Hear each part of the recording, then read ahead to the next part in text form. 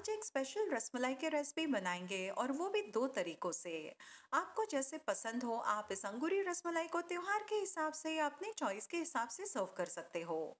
ये रसमलाई इतनी स्पॉन्जी और रसीली बनेगी कि आपके घर वाले और मेहमान खाते रुक नहीं पाएँगे। और बेस्ट बात यह है कि इस रसमलाई को बनाएँगे हम बिना मैदा और बिना कॉर्नफ्लावर इस्तेमाल किए।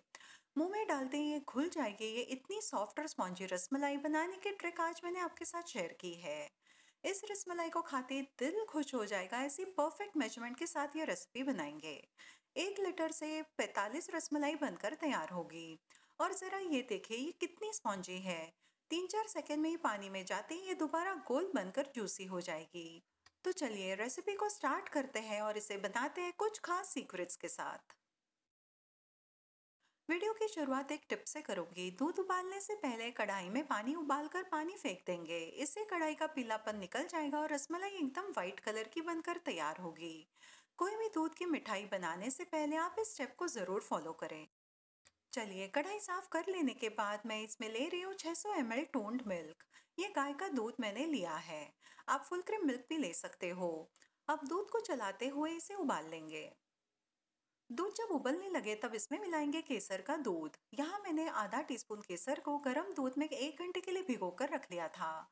आप केसर की जगह पर येलो फ़ूड कलर और केसर एसेंस भी मिला सकते हो। पर एसेंस कब मिलाना है, वो मैं आपको आगे वीडियो में बताऊँगी तो वीडियो स्किप ना करें। इस स्टेज पर डेढ़ कप चीनी भी मिला लेंगे। ये एक परफेक्ट मेज़रमेंट है। ध्यान रहे डेजर्ट्स ठंडे होने पर चीनी अगर कम हुई तो ये फीके लगते हैं। चीनी की मात्रा कम ना करें। अब देखिए, केसर का रंग अच्छे से दूध में आ गया है। अब इस दूध को थोड़ा गाढ़ा होने तक लगातार चलाते हुए पका लेंगे। अगर आप इसे इंस्टेंट गाढ़ा बनाना चाहते हो तो हाफ़ कप मिल्क पाउडर मिलाकर उबाल सकते हो। अगर आपके पास दूध पाउडर ना हो तो आप दो टेबलस्पून स्पून कॉर्नफ्लावर पानी में घोलकर भी मिला सकते हो। दूध थोड़ा गाढ़ा हो गया है। अब गैस बंद कर देंगे और इसमें मिलाएँगे स्वाद के लिए आधा टीस्पून इलायची का पाउडर। आप कोई भी दूध मसाला भी मिला सकते हो। मैंने यहाँ बादाम और पिस्ता भी मिला लिया है। आप अपने चॉइस से नट्स मिला सकते हो। रसमलाई का दूध बनकर तैयार है। ये ना ज़्यादा गाढ़ा है, ना ज़्यादा पतला। इसकी कंसिस्टेंसी ऐसी होनी चाहिए कि रसमलाई पर ये अच्छे से कोट हो सके। इसे पंखे के नीचे रख लेंगे और इसके बाद हम बनाएँगे अंगूरी रसगुल्ले। तो यहाँ रसगुल्ले बनाने के लिए मैंने लिया है गाय का एक लीटर दूध। ये भी टोन्ड मिल्क है, फुल क्रीम दूध लेने की ज़रूरत नहीं है। पैकेट पर 4.5 परसेंट फैट कंटेंट लिखा हो तो ये रसमलाई बनाने के लिए परफेक्ट है। अब दूध को उबाल लेंगे। जब तक दूध उबल रहा है तो दूध फाड़ने के लिए एक बोल में लेंगे तीन टेबलस्पून विनेगर और इसमें पानी मिलाकर एक डाइल्यूटेड घोल बनाकर रख लेंगे। दूध में उबाल आने के बाद गैस बंद कर देंगे और दो मिनट के बाद करची में दूध लेकर विनेगर मिक्स करके सारे दूध के साथ मिक्स करेंगे। इससे होगा ये कि छेना एकदम सॉफ्ट और नरम बनेगा और ये खाने पर चुई और टाइट नहीं होगा। अब दूसरी बात यह कि रसगुल्ले पकाते वक्त ये छेना सॉफ्ट और स्मूथ होने से स्पॉन्जी बन जाएगा और ये फटेगा भी नहीं। अब यही स्टेप्स पूरा दूध फट जाने तक हम रिपीट कर लेंगे।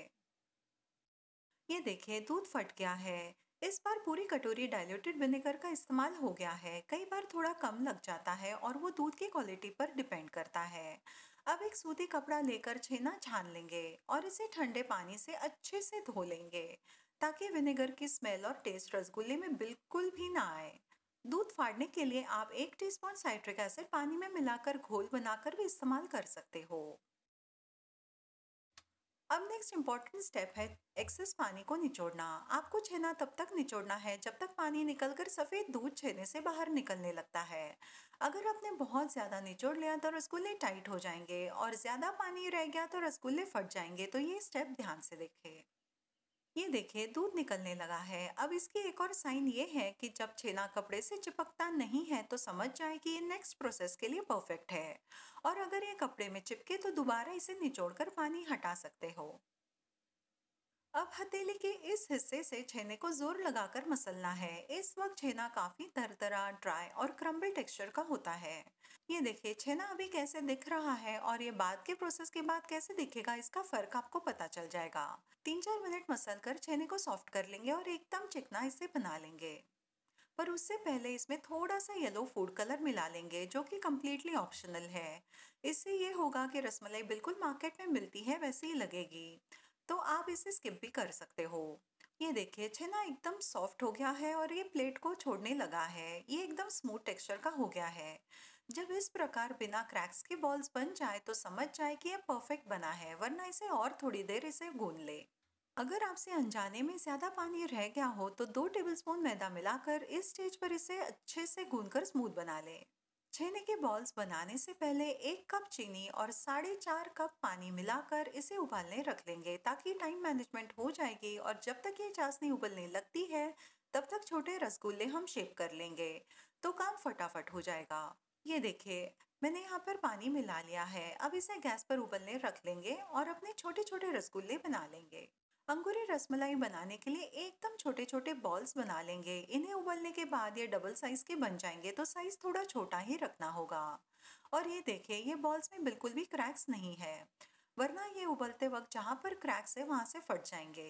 इस प्रकार सारे बॉल्स बना लेंगे। यहाँ मैंने सारी बॉल्स बनाकर तैयार की है। ये बॉल स्मूथ है और इनमें क्रैक्स बिल्कुल भी नहीं है।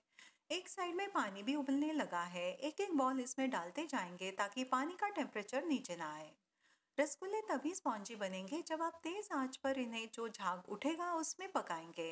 तो हलवाई लोग झाग उठने के लिए रीठे का इस्तेमाल करते हैं। मेरी जो कढ़ाई है, उसके ढक्कन में वेंट होने की वजह से स्टीम स्किप होने लगती है तो झाग अपने आप उठने लगता है तो रीठा मिलाने की ज़रूरत नहीं है।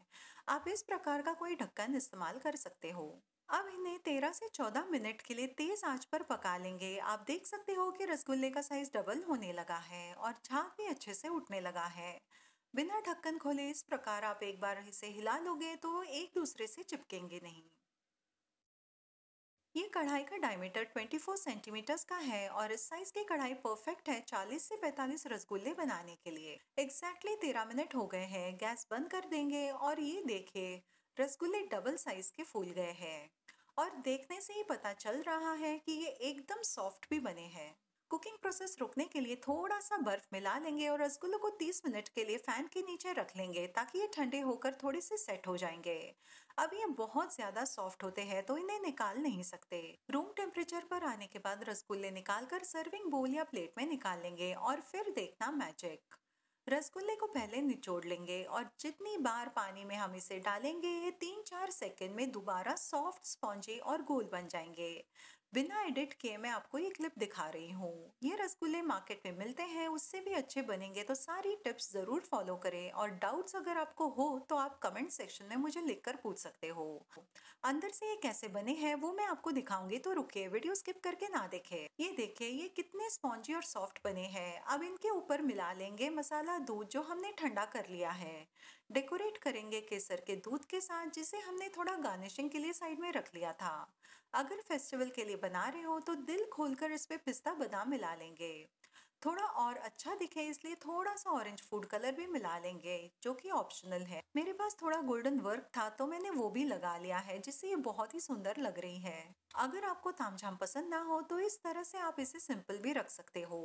क्योंकि कई बार घर के बुज़ुर्ग लोग बादाम खा नहीं पाते हैं। आप रसमलाई को एक दिन पहले बनाकर फ्रिज में ठंडा कर ले, तब इसका स्वाद और भी सेट होकर बढ़िया लगेगा। अगर आपको आज की वीडियो अच्छी लगी हो तो कमेंट करके मुझे ज़रूर बताएँ और इस रेसिपी को बनाकर एंजॉय करें। तो त्यौहार और ओकेजन के मुताबिक आप इसे सर्व करें।